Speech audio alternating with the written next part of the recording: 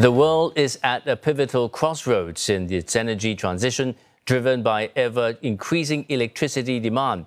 Governments have been re-evaluating their energy strategies and climate policies. The focus now on affordability and economic growth over sustainability. CNA's Rani Samtani has been speaking to policymakers and industry leaders at the Milken Institute Asia Summit here in Singapore, and she joins us live now. Uh, Rani, have there been any notable developments on the climate front? Well, Paul, this is just day one of the Milken Institute Asia Summit. Later today, policymakers and experts will be looking at the challenges of financing climate adaptation. If we look at where we stand, uh, despite Asia's net zero pledges and plans for clean energy solutions, coal still powers a majority of the region's electricity. Governments have been taking efforts to reduce emissions, but of course there are multiple hurdles from high energy demand, as you mentioned. This is for economic growth, but there's also uneven regional development. The rise of AI is also posing a big challenge with the tech requiring an immense amount of electricity to power data centers. Now, to help us understand more about the situation in Asia, Oi-Yee Choo, the CEO of Climate Impact X, joins me now. Thank you so much for making the time to speak with me. Thank you for having me. Let's start off with where does Asia stand when it comes to climate action? Well, that's a very interesting question because I think um, there is a lot of development and thinking around climate uh, right now. If you look at the number of events and conferences that are happening, New York Climate Week, um, Ecosperity in Singapore, London Climate Week, we had Impact Week, and now Milken, a big um, part of the agenda has become around climate and sustainability. So I would say that there are a lot of constituencies and stakeholders that are coming together to try to make this work.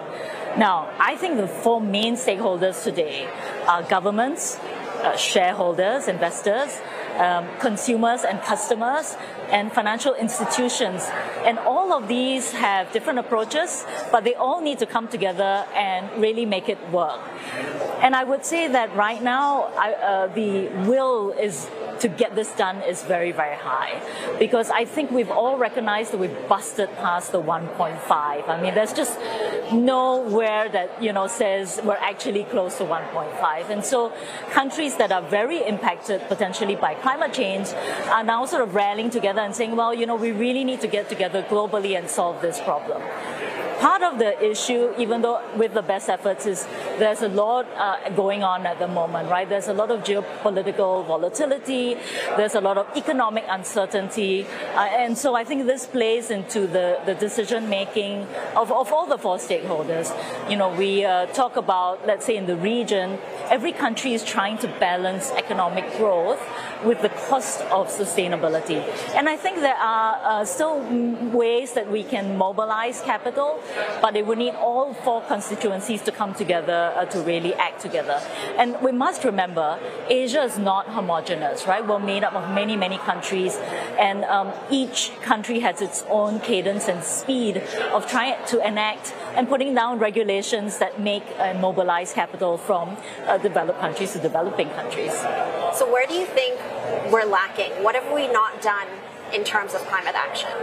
I think it's not so much about lacking, but it is around the speed at which these things uh, are, are, sort of put in place. And when you have other considerations, for example, uh, economic uh, uncertainty, this gets placed a little bit behind the agenda. Uh, does that mean that it's a, does that mean that everyone's ignoring it? I think the answer is no. But I think everyone's trying to balance, you know, this delicate balancing. And it's not just government; it's corporate as well. When you're facing a lot of economic headwinds, the question is, you know, where do I spend that allocation of dollar? Because it is an extra dollar. I think what will happen over time is generally there is a broader recognition of climate risk. What does that do to impact businesses and governments? Then I think you know there'll be a bit more thinking around mobilization of capital. What is right now happening is every country is developing their own mechanisms in climate bills or in carbon mechanisms, and every country uh, wants to solve right now for their own emissions and their own issues. How do they meet their own NDCs? How do they create the infrastructure to track their own inventory and how to solve that?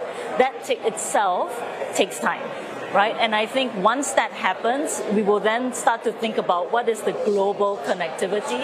So, for example, uh, the UNFCCC will meet and announce some big things in COP, hopefully, and they're developing uh, mechanisms for Article 6.4, which is a sort of more globally standardized carbon credit mechanism.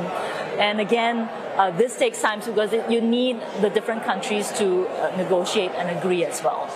So I don't think it is so much lacking. It's not a zero uh, for sure, but I think the pace is somewhat slowed down. But I, we do see a lot of energy coming back uh, and trying to pick this up again because we are in a urgently needed situation to mobilize trillions of capital to make this work.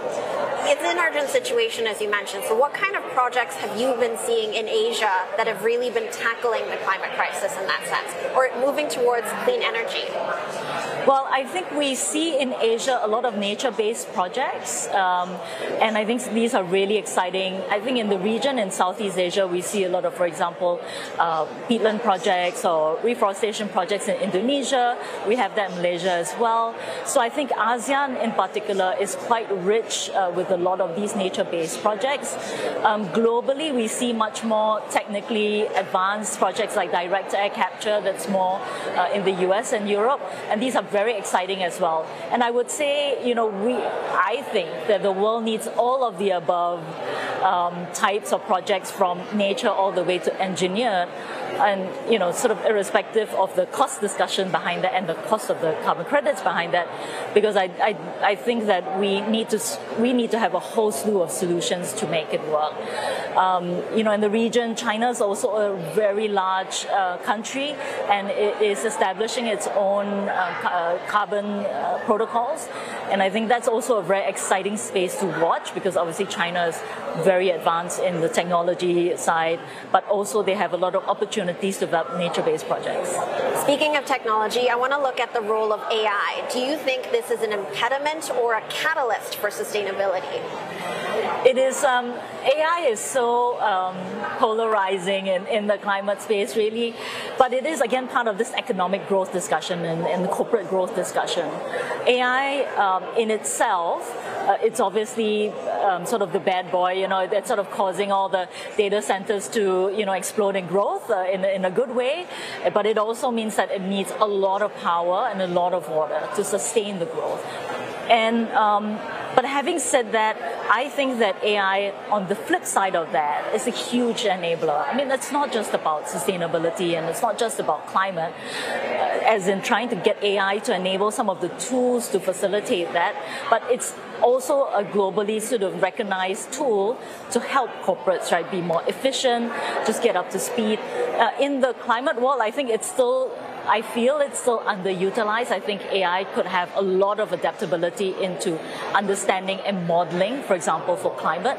Uh, in understanding and modeling carbon projects, we have very unique technical characteristics. And so sometimes when you see the thousands of projects out there, it's quite bewildering, right? So how does AI then help, you know, see through some of the good projects uh, that corporates might want to invest in, et cetera, et cetera. We look at AI, so for example, in um, carbon pricing? How does that help analytics? How do we get better transparency and discovery in, in pricing? So there's a lot of use cases and enablers on the business side even though you know on the other side it's sort of causing quite a lot of stress because you know the power needs are it's a very power hungry sector but net net i mean i hope to see more uh, um, ai enabled tools to really grow the climate uh, capabilities as uh, so, so space, you think yeah. there's a way we can align our climate goals with the use of ai in that sense well i mean ai to some extent is sort of more than climate right it, it, it is growing because uh, there's a lot of corporate and business need uh, around it, and that's why it is growing. We do see a lot of technology uh, players in this world actually understanding that delicate balance between the AI growth, and they're actually deploying a lot of capital into carbon markets. So to some extent, um, I think it, it, it hopefully is a net win-win for the world when you can create uh, technology to better enhance uh, what we do in the climate space. Thank you so much for sharing your insights with us. We were speaking to Oi-Yee Choo, CEO of Climate Impact X.